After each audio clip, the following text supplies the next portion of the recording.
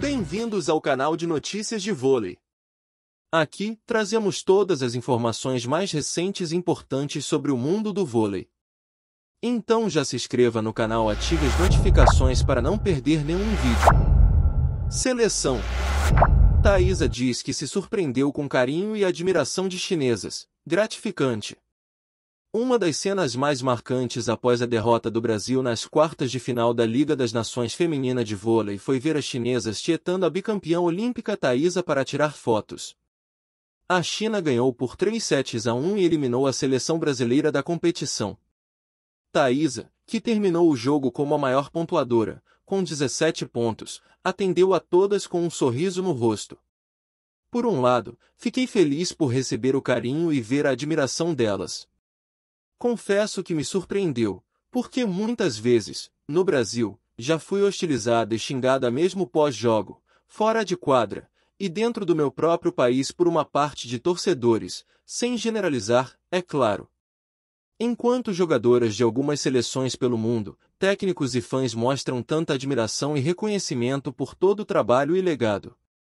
Não posso dizer que não é gratificante, disse Thaisa. Foi a primeira vez que o Brasil ficou fora das semifinais da Liga das Nações. Nas quatro edições passadas a seleção brasileira garantiu três pratas e um quarto lugar.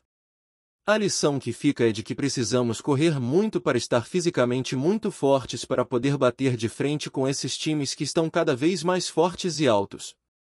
Manter a consistência e trabalhar muito nos nossos pontos fracos para minimizá-los. Cada um olhar para dentro e reconhecer verdadeiramente o que precisa melhorar e buscar isso em cada treino.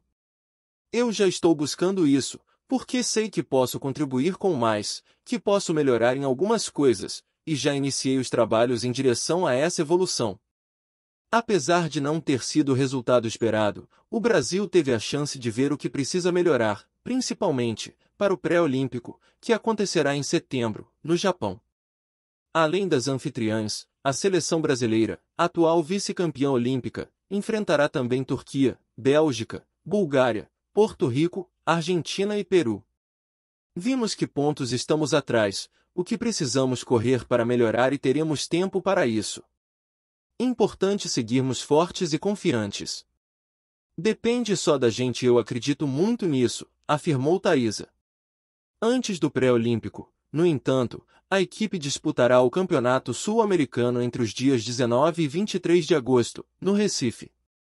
Esse foi o vídeo de hoje. Se você gostou de assistir a essas cenas impressionantes do mundo do vôlei, não se esqueça de contribuir.